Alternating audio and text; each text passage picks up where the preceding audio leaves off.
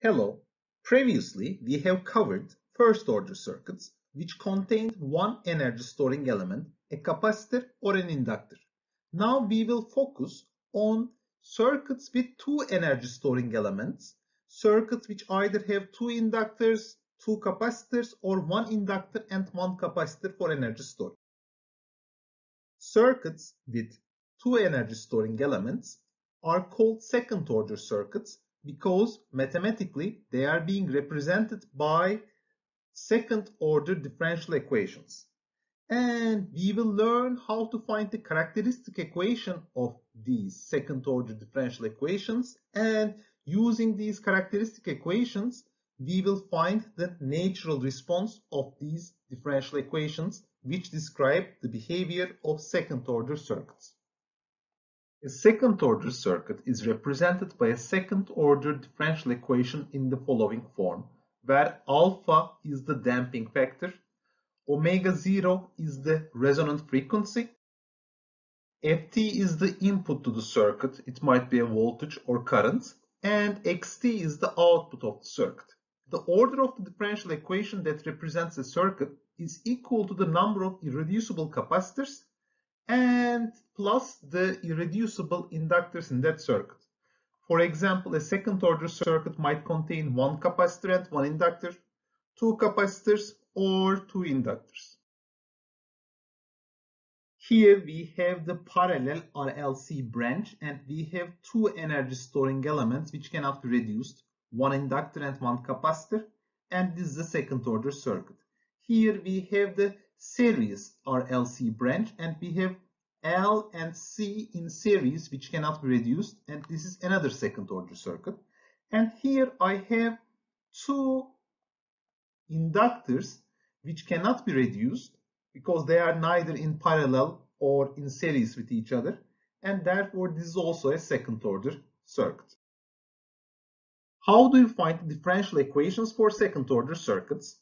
As always, we write the KCL and KVL equations for that circuit. For instance, here we have a parallel RLC branch with two irreducible energy storing elements L and C. And here I will write the KCL for this top node V. The current over the resistor will be going out, the current over the inductor will be going out, and the current over the capacitor will be going up. and to this node we will have the current IS from the current supply entering that I will write to the right side and to the left side I will write VR plus I plus C dV over dt because the current over a capacitor is given as C times dV over dt. And I have one more equation here. I can write the voltage over the inductor as V is equal to L di over dt. Merging 1 and 2, I end up with this equation here, which is a second order equation because dV over dt is equal to L, the second derivative of I with respect to t. And in order to find the current as a function of time, I need to solve 3. And in order to find the voltage V of node V, we need to solve the equation 2. This method of obtaining differential equations for a second order circuit is called the direct method. As of now, we still did not learn how to solve the circuit. The only thing we did was to extract and find the differential equation. In the previous example, we found the differential equations for a parallel RLC branch. Now we will see what is the procedure for finding uh, the differential equations uh, for any circuit. And this method is called the direct method. Firstly, we identify the state variables. For a second order circuit, we will have two state variables, which will be the capacitor voltages and or inductor currents. In general, in dynamical systems, a state variable is a variable set which represents the energetic behavior of that system with the minimum number of variables. Then we are writing a first order differential equation for the first state variable as a function of the two state variables, then we are writing a second differential equation in the form of dx2 over dt as a function of the first variable and we are substituting 2 into 1 to get an equation only in terms of x2 and after we do this uh, we just uh, solve it using some different methods. In the previous example the state variables were x1 was equal to v and x2 was equal to i the inductor current now let us find the differential equation for the series RLC case. As you can see, we have two energy storing elements, L and C, which are in series with each other. The voltage over the inductor will be L di over dt. The voltage over the capacitance, let us write it as V. And the voltage over the resistance will be VR is equal to R times I. And when we write this uh, Kirchhoff's voltage law, we have L di over dt plus V plus Ri is equal to the voltage source Vs. And in addition to this, we can write the equation for the capacitor in the form of I is equal to C dV over dt.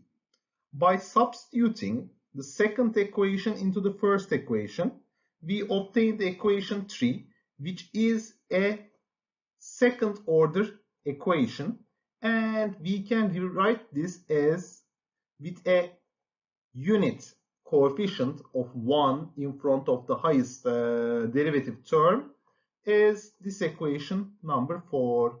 So in order to find the voltage over the capacitor, we can solve for.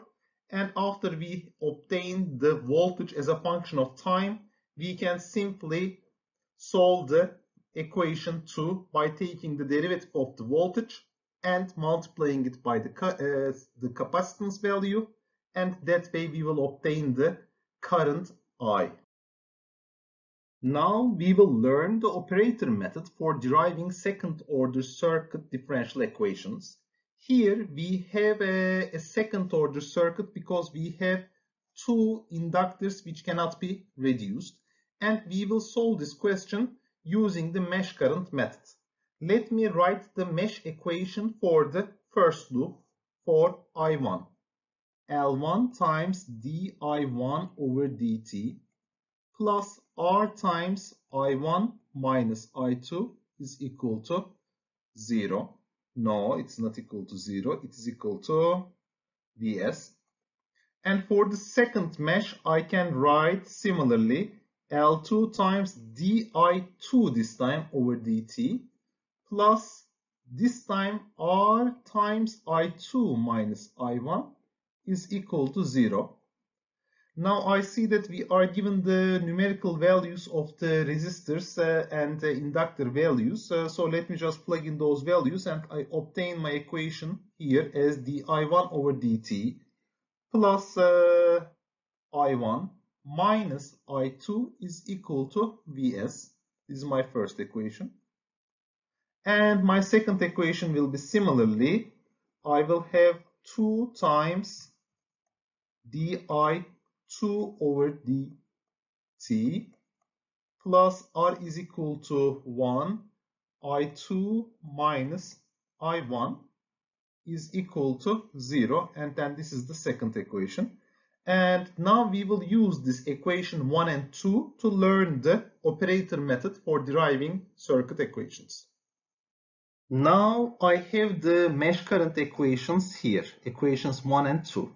Now we will introduce a new operator called the differential operator, which is S is equal to d over dt. So basically, that algebraic variable S will denote the differential operation. So we will know why we can do this when we study Laplace transform in detail in the future. But for the time being, trust me that this approach works.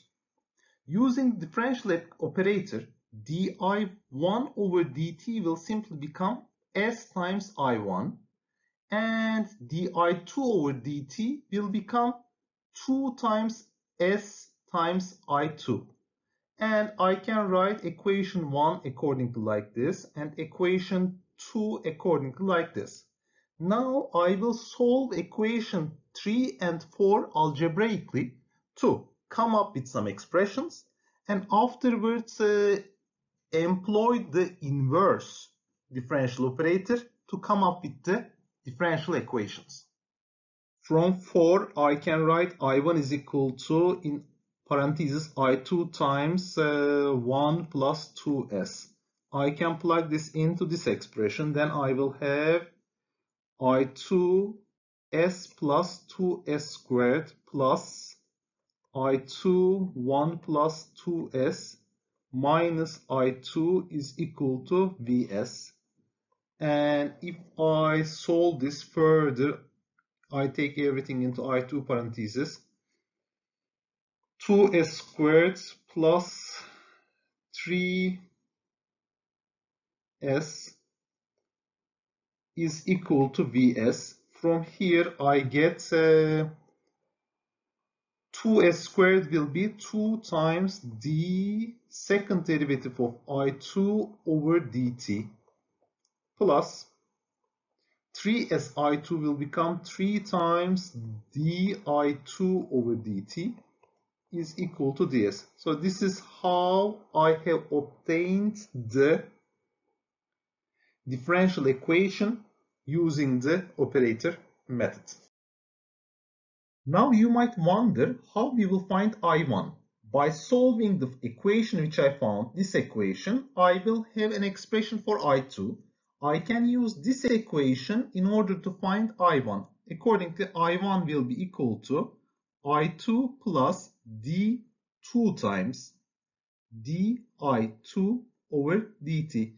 I will have an expression for I2 with respect to the time basically in order to find I1, I will write that expression plus 2 times the derivative of that expression and I will have both variables solved.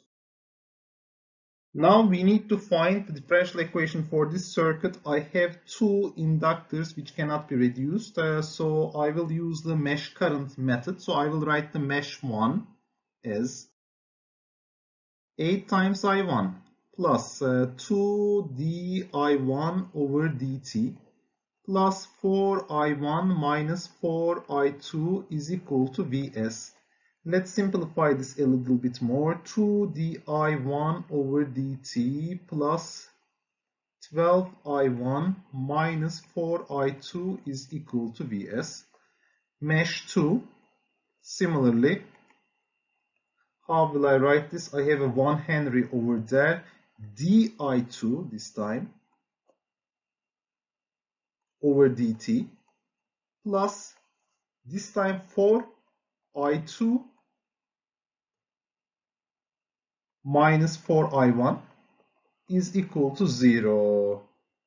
And now I guess I can use operator theory to find the differential equations. Alright, how did I define the differential operator? S is equal to d over dt. So wherever I will see the first derivative, I will write this. So according to the form mesh 1, I will end up having 2si1 plus 12i1 minus 4i2 is equal to vs. Similarly, for the second equation, I will write s times i2 plus 4i2 minus 4i1 is equal to 0. If I solve this equation, second equation for uh, i1, I end up with, with i1 is equal to s plus 4 times i2 divided by 4. And I can take and then plug into this equation and I will end up with 2s plus 12 times s plus 4 divided by 4 times I2 minus 4I2 is equal to Vs. I can write this as 2s squared plus uh, 20s plus 48 minus 16 I2 is equal to 4Vs this I can simplify further uh, and write it as 2s squared plus 20s plus uh, 32 I2 is equal to 4Vs and let's divide everything by 2 s squared plus 10s plus 16 I2 is equal to 2Vs and I can write this as a differential equation. Second derivative of y2 d second derivative of y2 over dt squared plus 10 times di1 di2 sorry over dt plus 16 times i2 is equal to 2vs let's write here 2 times v subscript s and this way I found my second order differential equation for this system. Of course, I can just use this equation here in order to find I1 after I solve this equation for I2. We have so far covered two different ways to obtain the second order circuit differential equations, the direct method and the operator method, but still we don't know how to solve these. So in general, a second order differential equation can be represented using this uh, equation.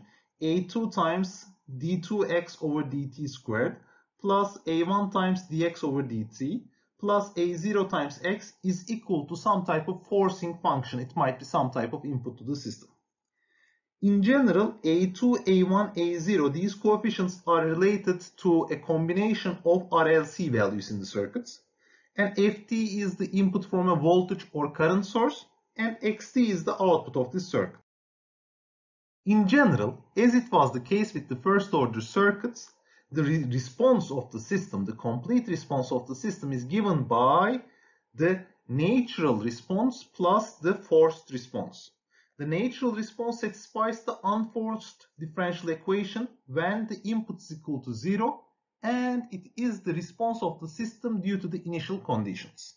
And the forced response satisfies the equation with the forcing function ft, but not taking into account the initial conditions in the circuit. For the differential equation 1, let us propose the solution xn is equal to a times e to the power of st. Let's take the derivatives of dxn over dt, which is a times s times e to the st. And let's take the second derivative of this expression, which will be a s squared times e to the st. If I take these expressions and put into the equation 1, I get equation 2. And since I know that a times e to the power of st is equal to xn, the natural response of the circuit which we have proposed, we can write this equation simply as this. Now here, one trivial solution of that equation is xn is equal to 0, but that is not what we are looking for. The other solution will be given by the polynomial, which we call as the characteristic equation and based on this second order polynomial, we will get two roots, S1 and S2. And these two roots will govern the dynamic behavior of the system for the initial conditions. So the characteristic equation is a second order polynomial. And for second order polynomials, we have closed form solutions in the form of S12 is equal to minus a1 plus minus square root of a1 square minus 4a2 times a0 divided by 2a2. This equation might have two distinct roots, two overlapping roots, and two complex conjugate roots. And when there are two distinct roots, the natural response of the system will be in this form. So basically the same form of the exponential functions which we have proposed, but those exponential functions have the two different s1 and s2 values in the exponent. We will find the other unknowns a1 and a2 using the initial conditions of the energy storing elements. There are some special cases when S1 is equal to S2 and or S1 and S2 are complex numbers as conjugate pairs. We will learn those in the next lecture. Now we will find the natural response of unforced parallel RLC circuit. Why this circuit is unforced? Because there is no source in this circuit. The circuit consists of one inductor, one resistor, and one capacitor, and there are no current or voltage sources. Therefore, this unforced parallel circuit will only have a natural response, and the differential equation which will describe the behavior of the system will be second derivative of voltage, 2 alpha times the first derivative of voltage, and uh, omega 0 squared times uh, voltage is equal to 0. If we write the KCL at the top node, the current going out of the node to, uh, through the capacitor will be equal to C dV over dt. The current over the resistor will be V over R and the current over the inductor will be 1 over L times the integral of V d tau from 0 to t and here also we need to take into account the initial condition because there will be some amount of current passing through this uh, inductor at t is equal to 0 is equal to 0. If we take the derivative of this expression, we end up with the second derivative uh, of uh, the first expression and then this integral disappears and we end up with equation 3. If we utilize the differential operator, we arrive at the characteristic equation in the form of s squared plus 1 over rc times s plus 1 over lc is equal to 0. Now we will see how to solve this characteristic equation. The characteristic equation is a ordinary second order polynomial and we can remember how to solve these second order uh, polynomial equations here and according to the result is S1 and 2 is equal to minus 1 over 2 RC plus minus the square root of 1 over 2 RC squared minus 1 over LC. If S1 is not equal to S2, then we will have the following solution. Vn is equal to A1 times e to the S1t plus A2 times e to the S2t and the roots of this equation can be written as S12 is equal to minus alpha plus minus square root of alpha squared plus minus uh, omega 0 squared. Basically, we can write the terms in terms of the damping factor and also the resonant frequency. So the damped resonant frequency of the system is defined as omega d is equal to square root of v0 squared minus alpha squared. Now, when we look at this equation, we observe that there might be three cases. If alpha squared is greater than omega 0 squared, then we have an overdamped response. If alpha squared is equal to omega 0 squared, then we will have two overlapping poles at minus alpha and we have a critically damped response. And if alpha squared is less than omega 0 squared, then we will have a complex S1 and S2 and we will have an underdamped response. Let's see how these responses look like. As you can see, if the system has an underdamped response, we see oscillations we have an initial overshoot and later the system uh, goes to the steady state value for a step response. If the system is critically damped, the system response is the fastest it can be without making any oscillations. And if the system is overdamped, the system behavior is governed by the, dominated by the slowest pole of the system and therefore the system response is sluggish. The solution of the parallel RLC circuit is given by Vn is equal to A1 times e to the S1t plus A2 times e to the S2t. And we found S1 and S2 by solving the characteristic equation. However, we still need to find A1 and A2. And we will use the initial conditions to find these, specifically the capacitor voltage and inductor current V0 and I0.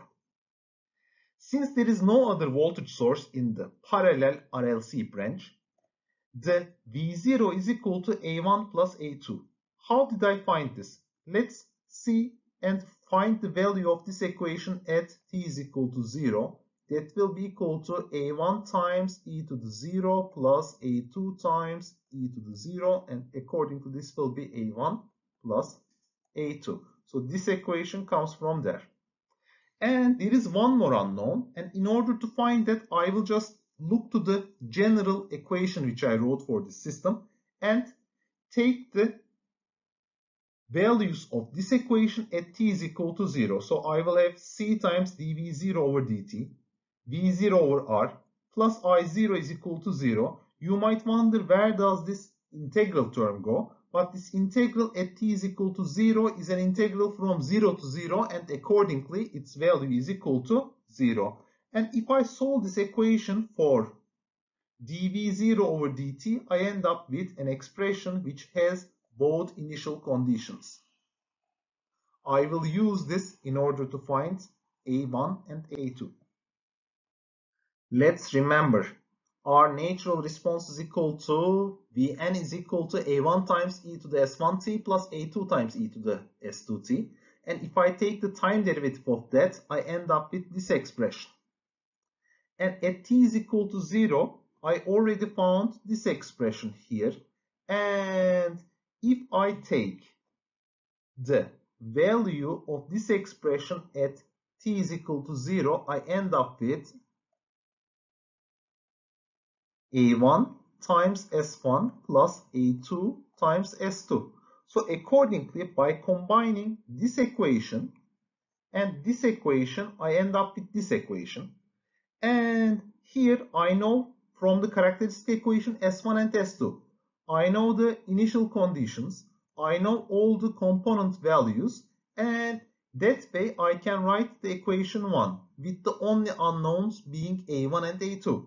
And secondly, I already have another equation which is v0 is equal to a1 plus a2. And by solving the two equations for the two unknowns, I can find a1 and a2. So when I find a1 and a2, I also have S1 and S2 from the characteristic equation and I have found all the unknowns for my differential equation and completed the solution of my parallel RLC branch differential equation.